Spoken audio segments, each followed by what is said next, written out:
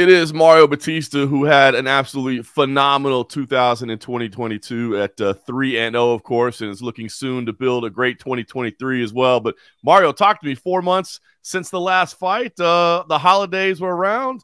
What what what what'd you do? Any vacation? Was it all work? A little fun? What's what's the time off been like? Uh, a, a little bit of both. You know, I, I got the bonus, so I just decided like you know take advantage of it. You know, um, went to Vegas, went back to Vegas, you know, had a little fun there, uh, came back, uh, got promoted to black belt, uh, had the holidays with family and, and, you know, it was, it was pretty good, you know, now, now uh, I feel good about getting back to work and, you know, getting back to that, that grind. That's awesome. Good for you. You got to enjoy it a little bit, right? I know you're investing to the future, but you got to enjoy the the fruits of your labor a little bit, have a little fun. Oh, absolutely. I think the last time I got a bonus was like right before uh, the lockdowns and COVID and everything. So couldn't really do much, you know, um, which was probably good.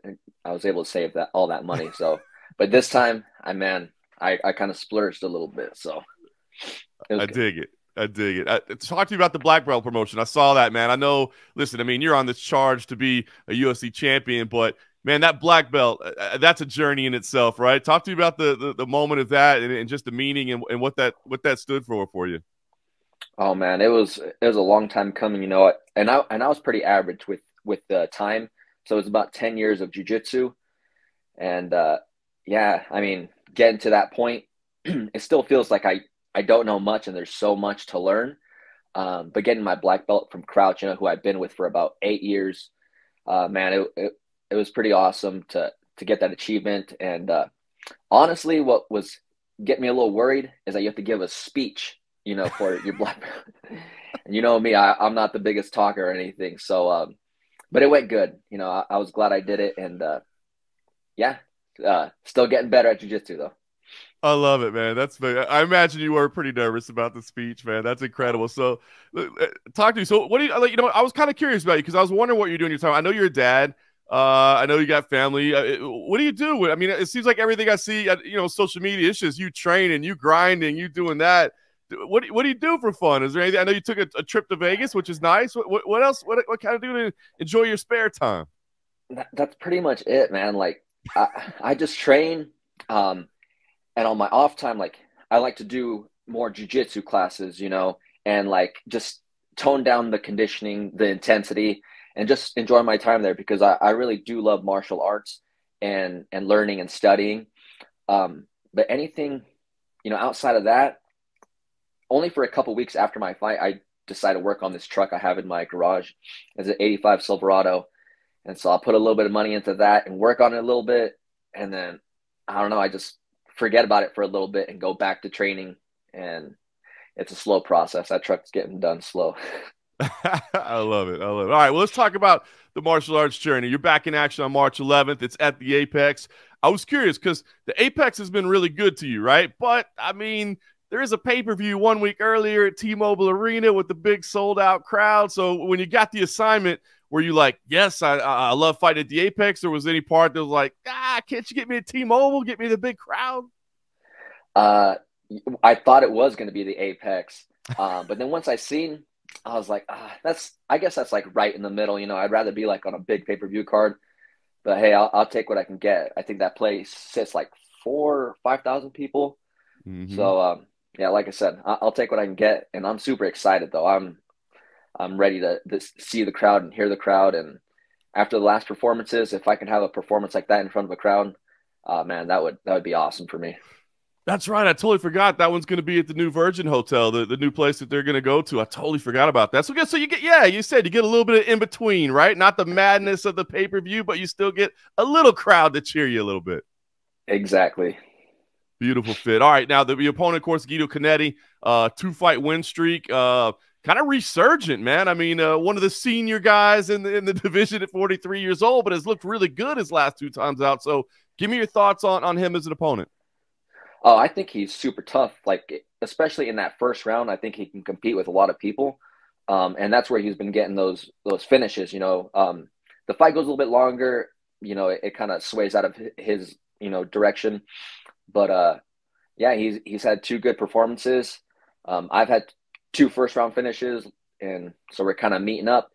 and you know, props to him. You know, uh, you don't see too many uh, older guys in, in the lower weight divisions.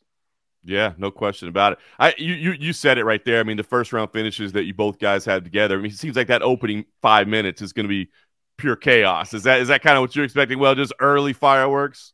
Yeah, and I think we'll meet each other with like, you know, some good intensity, but I think uh, after a lot of scrambles and a lot of uh, you know engagements, I think that that's where the youth is going to kind of help help me out. Unfortunately for him, um, so yeah, anything after that, I, I kind of see it going downhill for him. Yeah, I think that's a fair assessment. Now, here's what's interesting is right. Like you, you talked about, look, you're not the call out type, you're not the big talker, that sort of thing. But I, look, I, I, thought a ranked opponent was going to come in this matchup with the year you put together, right? So I know your division is incredibly deep and there's a ton of great fighters in it, but I mean, a win here, especially if it's impressive like you've been getting. I mean, do you take to the mic and start trying to make some call outs? Is that within you to do that? Uh, it, it's not really in my nature, especially to call out someone specifically, because you know I even said last time I want a, a top fifteen, but me saying that is looking like it's not going to be enough. Um, so I don't know. Maybe I'm going to have to single someone out, or maybe a couple people, and and say some names on the mic. Um, and you know, and that's what my coaches are telling me too. Like you need to start looking into that and start doing things like that, even if it's not your nature. Try, do it in your own way, and uh, you know, it, it'll get you a little bit farther for sure. Yeah. Well, I think that's the tough balance, right? Is is not trying to create some character, not trying to be something you're not. I mean, you're a respectful martial artist who's just trying to, you know, carve his own path. But I just I think another win, again, four in a row in this division, it just it would deserve a ranked matchup next to at least give you that opportunity to prove yourself. Yeah, you know, and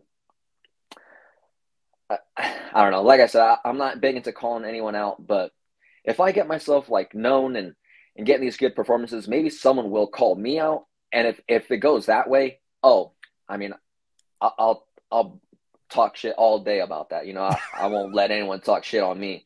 I'll give it back. But for me to to engage that or to start it, it it'd be a little bit hard. Uh, now, now I'm gonna have to find somebody to call you out just so I can hey, hear you talk shit, man. hey, I, I don't mind that. You could start it up for me. I'll do it. That's incredible. Hey, we'll talk to you about what's going on at the top of your division, right? Uh, a lot of Arizona ties to the top of the division right now. I'm curious, you know, Henry Cejudo's coming back. Give me your thoughts on his chances against Aljamain Sterling. I mean, obviously he's a phenomenal athlete, but he spent a lot of time away from the sport. So what, what do you think, man? Do you like his his, his uh, opportunity in, in that fight, or do you think it's going to be tough after that much time away? Um, I, I think Henry has the right mindset to to get into a good fight like that or get back into it. But Aljamain, man, his, his grappling and jujitsu together, um, I think it's going to be a tough fight for Henry. Um, but I don't know. Uh, we'll we'll see. You know, Sean's right there in the mix. Um, so we'll, we'll see what happens between those two, and then you know, like Sean's ready to go, and we'll, we'll see what happens.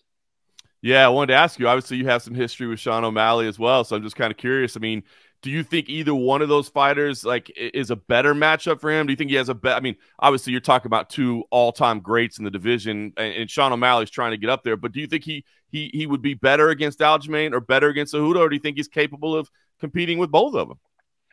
I think both of them, you know, and both have uh Henry and Aljo have a similar kind of style as far as like good grappling, you know, decent stand up.